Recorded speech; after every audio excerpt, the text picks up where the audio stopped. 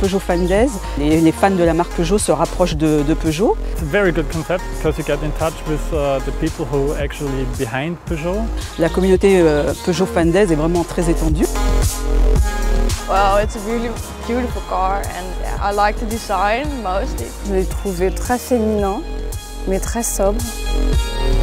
I'm not saying girlish, but it's uh, young and it's cheerful, it's joyful. Très chic, mais pas tape à l'œil. It's up to the driver, to the customer to choose okay which color to decide okay I want it more girly or I want it like more masculine. It looks very fresh, yeah, with a very cool design. And the features in it are very interesting. L'intérieur, euh, voilà, c'est quand même assez bien insonorisé. C'est vrai qu'elle a énormément de, de qualité pour une voiture euh, de ce segment-là.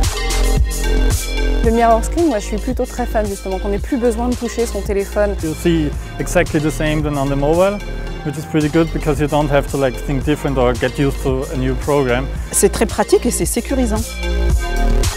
On avait la 1.2 litre euh, PureTech, je ne m'attendais pas à une voiture aussi intéressante à conduire. Les maris vont certainement la, la- la piquer la voiture parce qu'elle avait quand même du répondant. It's a fun driving vehicle, so I think this is one of the most important points for me and also the music stuff. One word, it's fun. Bah, sobre et féminine. C'est une voiture qui se remarque. Colorful, it's joyful, it's young, it has a spirit. So I really enjoyed it. It's small fun and like in a big city like Paris, it's, it's very good I think. It was a really nice experience and I've joined, enjoyed myself. Great two days in Paris with the Peugeot team and with this uh, awesome car. It's, it's really nice.